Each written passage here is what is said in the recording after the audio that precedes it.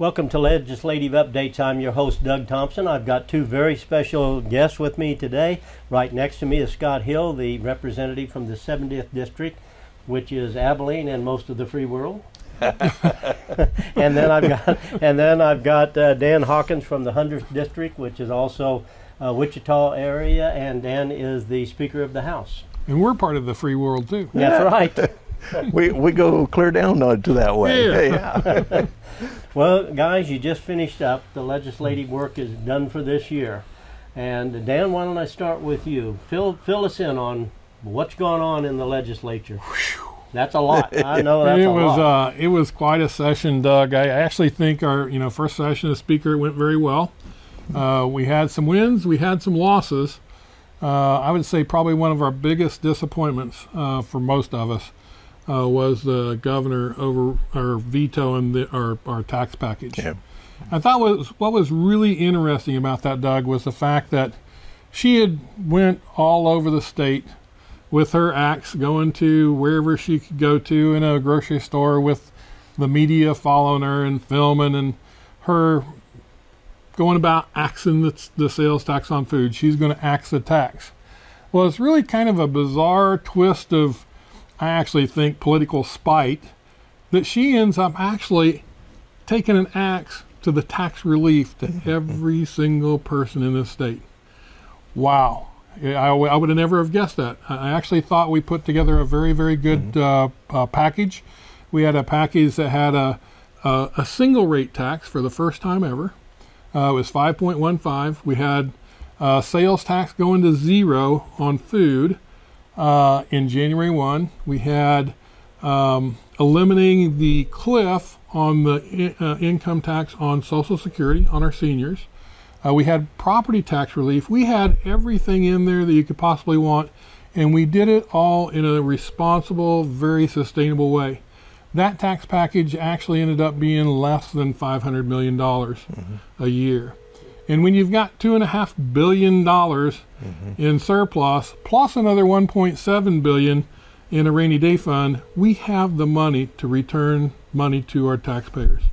And, and, and it's very disappointing to us, but it really just shows you the governor has said that she was governing from the middle, and we wanted to meet her in the middle. Uh, we truly tried to, but you know, the Kelly Tolan administration decided to axe the tax relief, and uh, and and quite frankly, that was our biggest. That was truly our biggest uh, uh, disappointment. Uh, we actually thought we had the votes. We did have the votes to override her in the House. Uh, the Senate, I know you've probably heard about the um, um re- one Republican that decided to defect, you might say, and and he'd voted for it twice, but then when it came time to override it, he decided not to vote with us. So it really stopped it there. We didn't get a chance on the House to be able to override because it was a Senate bill. Senate bill override start in the Senate. House bill override start in the House. So we never did get an opportunity. Uh, but that doesn't mean that we're not going to come back next year. Uh, I truly believe next year one of the first things we will do is tee up another tax package. It may look a lot the same, may have a few differences because times change, you know, over the time. Uh, but we will come back with another tax package and we'll see if she wants to axe the tax relief again. Uh, I think if she does it twice, it's not going to be good for her. So it was it was a sad it was really a sad day uh, day when she did that. Well, I, I can tell you this, Dan, that I appreciate all of the work you put in on the, the legislative work that you've done this year, and I, and I really thought that that would be one that she would approve. I did too. Actually, going into uh, the veto session, she still hadn't touched that bill.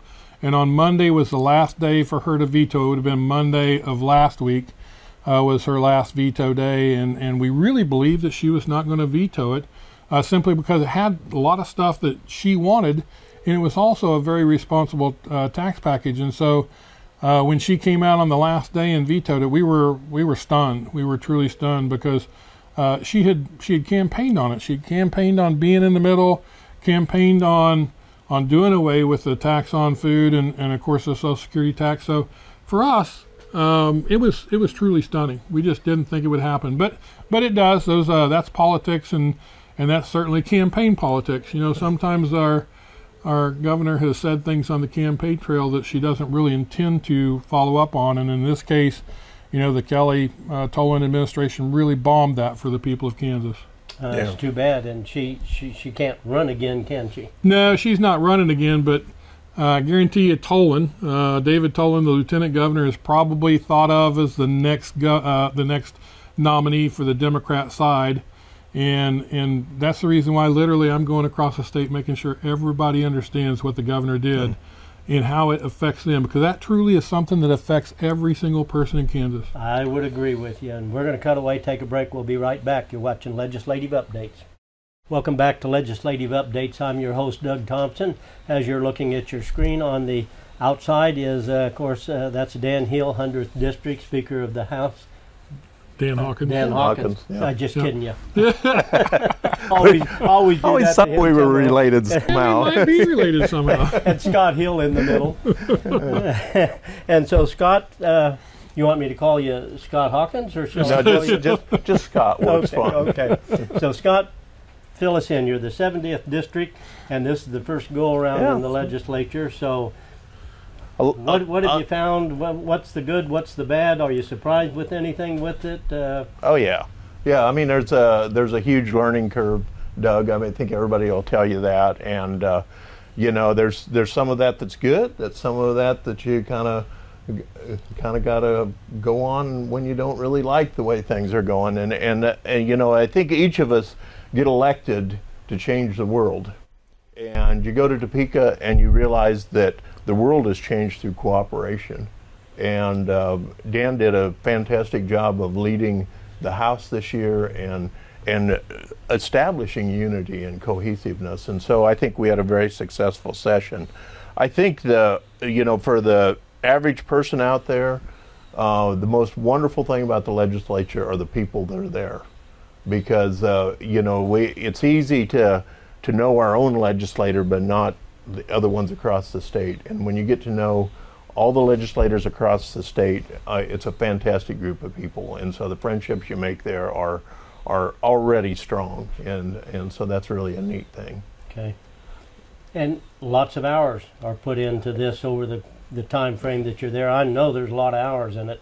It's uh, there are times that it uh, we we run really long hours. I'm I'm a farmer, so uh, you know I'm used to working all night. So um, it we got to do that a few times. It- Four thirty in the morning. wasn't yeah, it? we did, Yeah. and uh, we got to see the sun. I got to see the sun come up on the way back to Abilene. So, uh, but uh, but no, it's. Uh, I think I think the number of hours is important, but also the quality of hours. You know, the committee meetings, the committee meeting process is is a really enjoyable process. You get to have people come in and and meet with you and, and express their opinions, and then the opportunity that we've had this year to to vote on some some important legislation.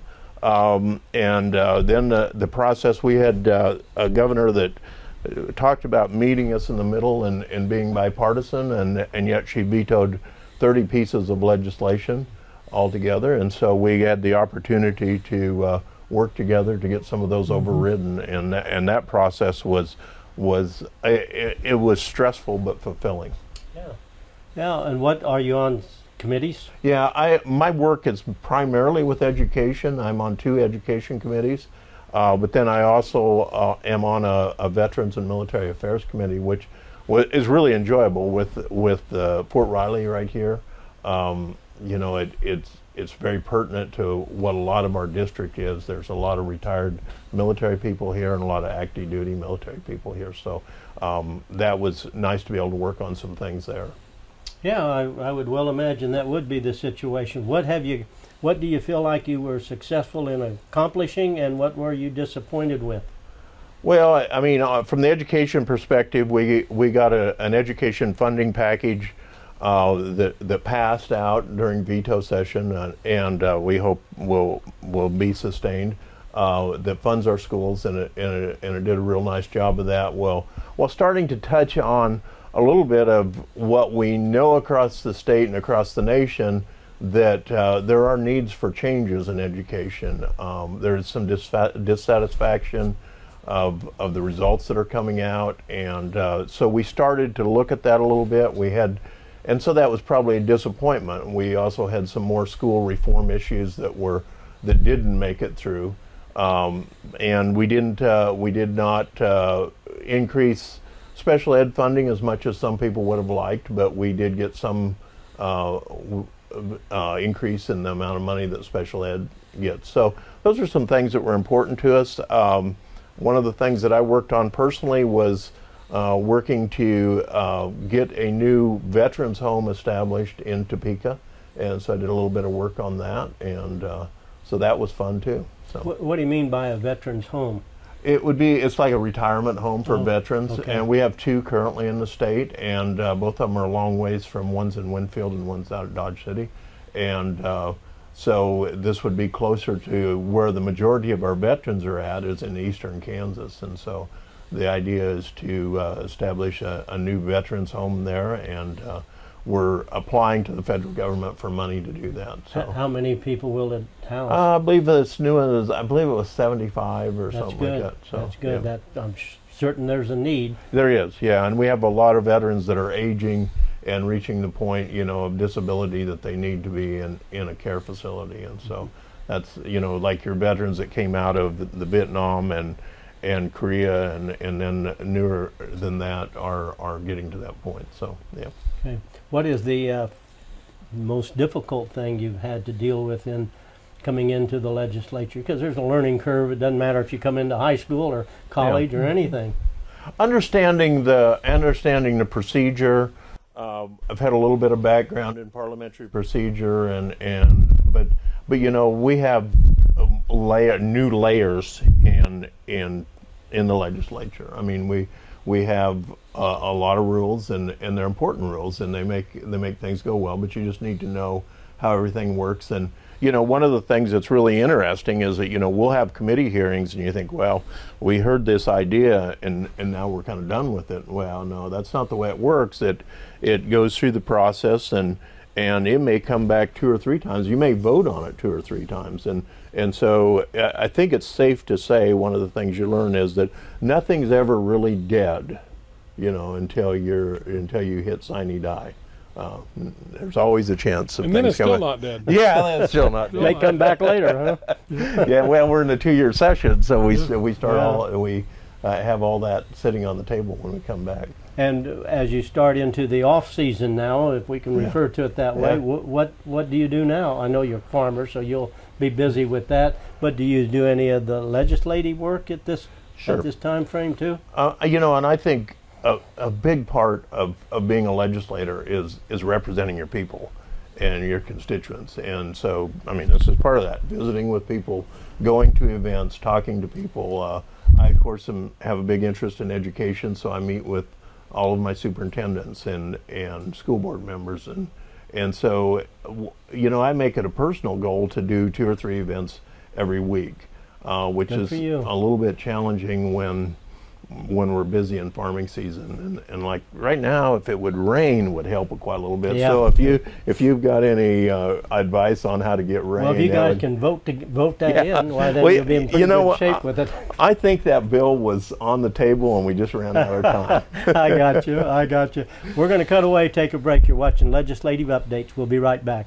Welcome back to Legislative Updates. I'm your host, Doug Thompson. In the middle right here, Scott Hill from the 70th District, and of course, Dan Hawkins. And Dan, uh, first off, thank you for all the work that you do because I know, I know that, uh, and I've heard this already, that from the time you get up there and um, whether it's as the speaker, right on through, it is full time. It is. there's, there's interruptions for you and etc. But uh, I know it's a lot of work, and thank you for doing it. Yeah, here a while back, I was uh, actually doing a speech at the Pachyderm Club in Wichita, and the um, the uh, opinion editor of the Wichita Eagle, Dion Lefler, was there, and he had just written a piece about how we don't work 20 hours a week.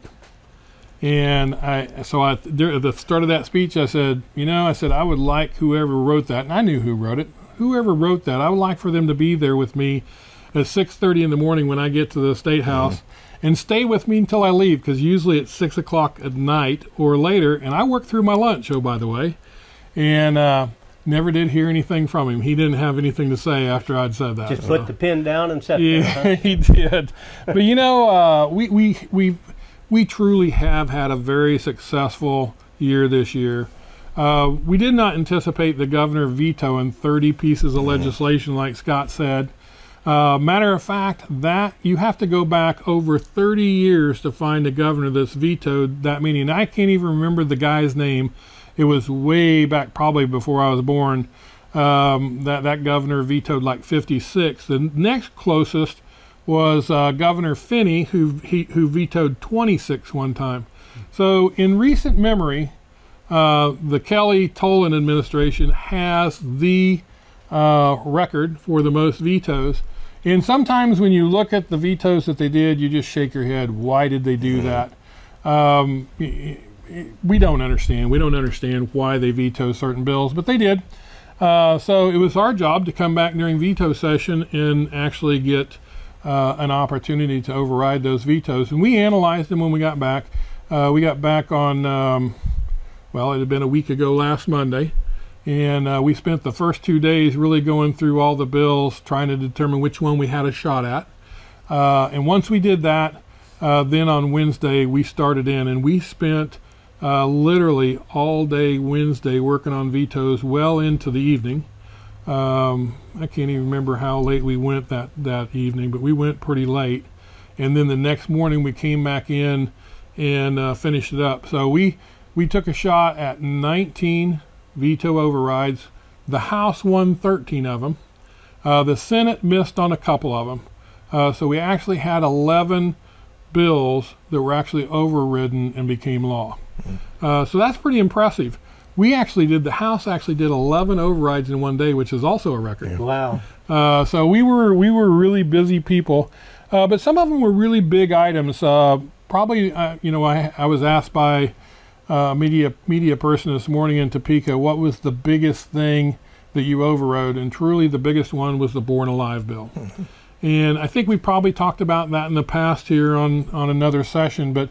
Uh, the Born Alive bill was a bill that that basically says that if a baby is born through a botched abortion and, and, and is born alive, then that baby is to be given the same exact health uh, treatment that any baby of the same gestation would get.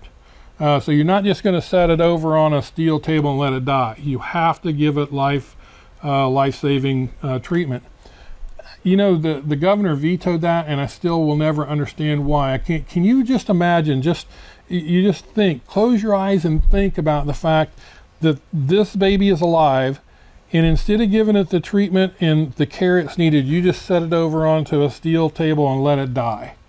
I don't understand how anybody can do that. I don't even i don't even understand how the governor could think that was the right thing to do. I don't either. I don't understand that no. one at all.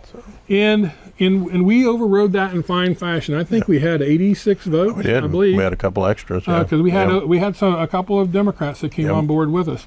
Uh, so that was a very important bill for us, and we actually started first with that. That was the first one we did out the gate.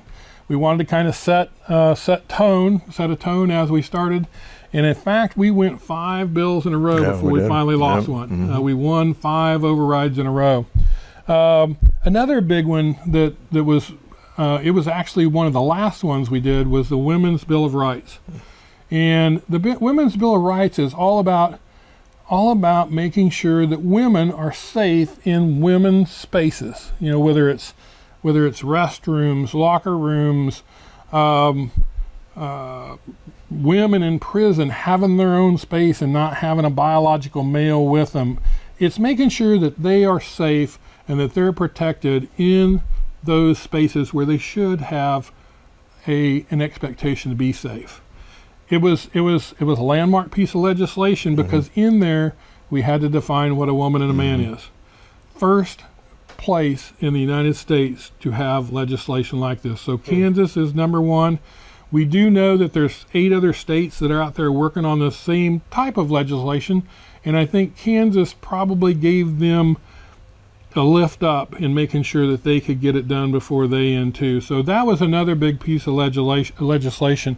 But we had there, there was a couple of them that we lost that was really a shame. Besides the tax bill, losing the tax bill, we had a, a deal on childcare. You know, one of the biggest problems we have today is in the workforce is people need to have good child care so they can go to work.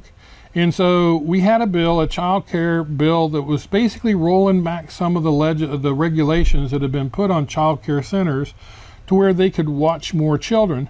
And we really made it to where it was really uh, consistent with other states around us. So we weren't doing anything landmark in this. We were just really just rolling back some regulations so we could get more child care and the governor vetoed it, and we were not able to get that one passed. Uh, we came up about four votes short of being able to get that done. So that was really a disappointment. Uh, another another one that was really kind of a surprising disappointment was there was a, a uh, an IDEO bill. It was it was basically a bill uh, that that that schools could use to teach children firearm safety, and it was and it's really simple is don't touch. Um, I can't even remember. Check with an call an adult. Call an adult. Don't get touch. away from yeah, it. Just yeah. get away. It was four things that the that they were to, to do. It was kind of like stop, drop, and roll uh, when you know, they're taught. Uh, you know when when there's a fire. Same type of thing for that. Just just tell an adult don't touch it, and and you get somebody to take care of that gun. The governor vetoed that, and we we came up one vote short of being able to override that veto. So that was kind of a surprising one. Um, there was many more. We could talk about many more, okay. but we had a good session. Let me cut away, take a break. You're watching Legislative Updates. We'll be right back. Welcome back to Legislative Updates. I'm your host, Doug Thompson, with my guest, of course, Scott Hill from the 70th. Thank you. Thank you for what you're doing. I know this is the first go around and there's a learning curve with it, but uh, I hear you're doing an awesome job. Dan, thank you so much for what you're doing. And, uh, and I know there's a learning curve, but you've already been through all of that, and so thank you so much for you guys doing what you're doing and the good job that you've done, and uh, really appreciate it. Thank you a lot, you. Doug. I appreciate you, you, allowing us to come on. Right. Thanks for watching. See you next time on Legislative Updates.